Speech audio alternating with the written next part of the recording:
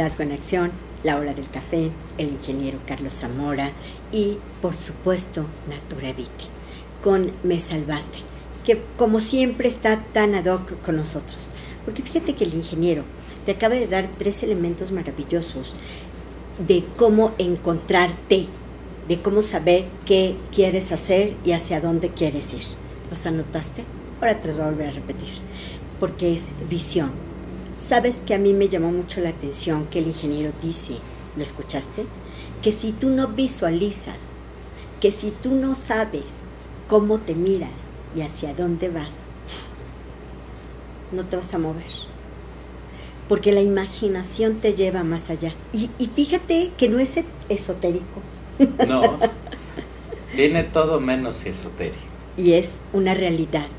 Utilizar tus herramientas para poder llegar a lo que tú quieres es visión. Inmediatamente después es ¿para qué? ¿Para qué lo quiero? Si tú dices, ah, es que me quiero hacer millonario mañana, bueno, ahí tendrás algunos desafíos que enfrentar. Y luego nos dijo ¿Cómo lo voy a lograr? Porque si tú ya identificas lo que quieres y hacia dónde quieres y cómo lo quieres, entonces podrás saber qué ocupas, qué necesitas y lo podrás hacer. Pero mira, no queda allí. El ingeniero nos estuvo diciendo, ¿lo escuchaste? Que más allá de simplemente sentarte a hacer tus labores, lo dijo, era estudiante, trabajó para lograrlo, porque las cosas no caen del cielo, ahí inicia su liderazgo. Él tenía una visión de ser ingeniero en sistemas. Sí. Y ocupaba dinero Correcto. para pagar la mejor escuela que en ese momento él decidió. Y lo hizo. Y entonces trabaja y estudia. No es ajeno a lo que tú haces hoy. Y si no estudias y solo trabajas y tienes intención de hacerlo, mira, eso es factible y puedes llegar a ser empresario. Además nos acaba de dar unas estadísticas, las escuchaste, de terror. Salimos mil y uno emprende. Y de diez, así es. Quedan uno solito y uno de ellos es él. Dentro de hace 14 años está aquí, dentro de ese lapso él ha aprendido desafíos que viene a compartirnos en un liderazgo en acción verdadero. Ingeniero, cuando se estudia y se trabaja. El desafío terrible, ¿cuál es? Administrar el tiempo. Sí, porque es el recurso más escaso que tenemos. A veces decimos, el recurso más escaso es el dinero, pero no es así.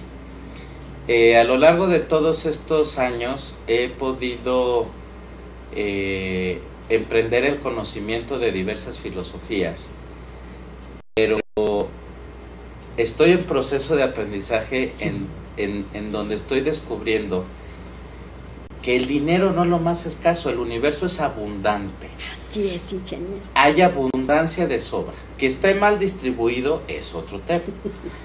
Pero lo que el desafío más importante cuando queremos emprender y podemos lograr combinar diversas actividades es aprovechar el tiempo. ¿no?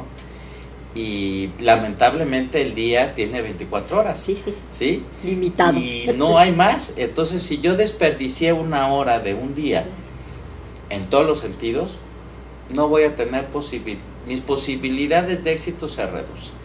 Entonces, cuando se estudia y se trabaja, el primer desafío es el tiempo. ¿Qué voy a hacer con el tiempo?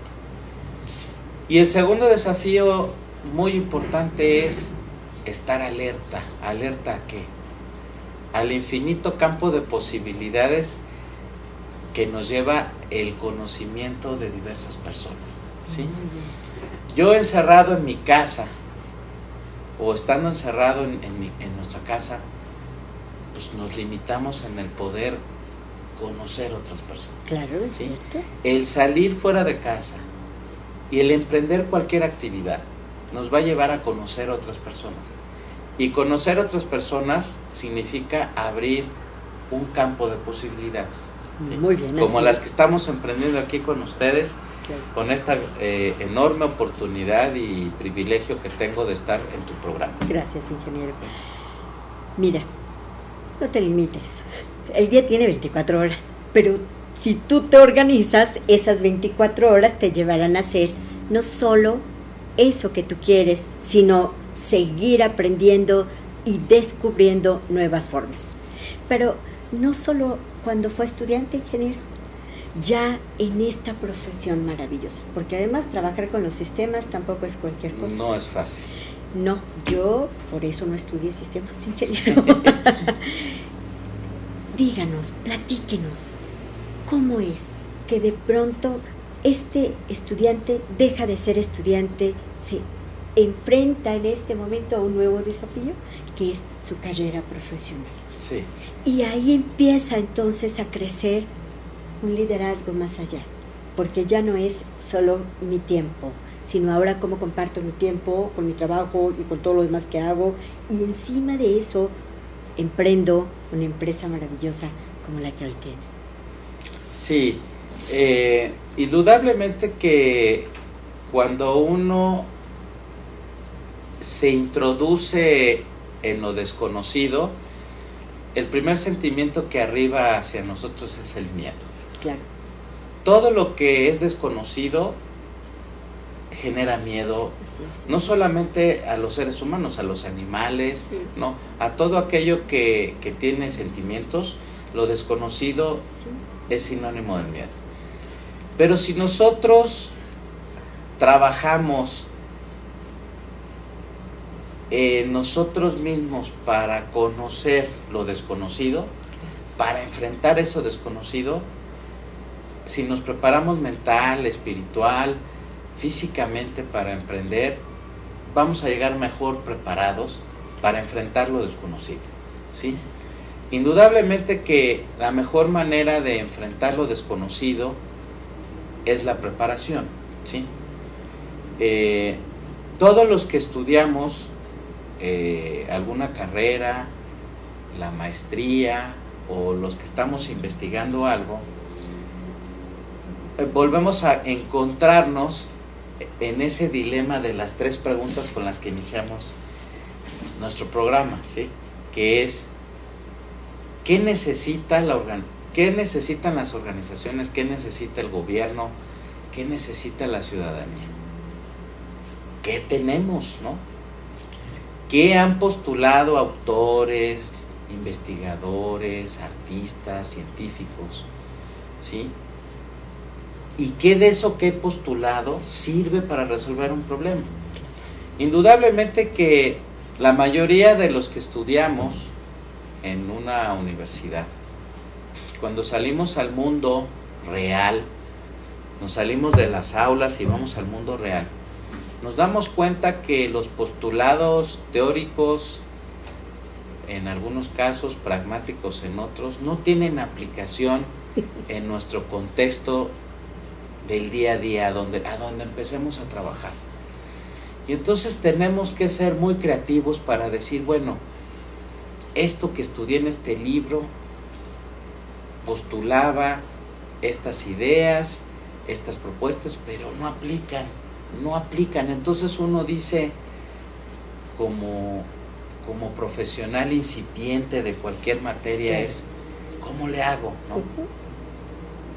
Entonces, realmente el éxito en esos momentos se traduce en cómo estamos nosotros leyendo, interpretando la realidad, ¿sí? Cómo analizamos esa realidad y qué herramientas y qué elementos tenemos para enfrentarla. Claro, Sí. claro. Y desafortunadamente en las universidades no nos enseñan esas herramientas para poder enfrentar la realidad. Porque es. una cosa es lo que plantean los libros, los autores, lo que vemos en las aulas, pero los problemas de allá afuera pues son de naturaleza tan diversa que tenemos que ser creativos.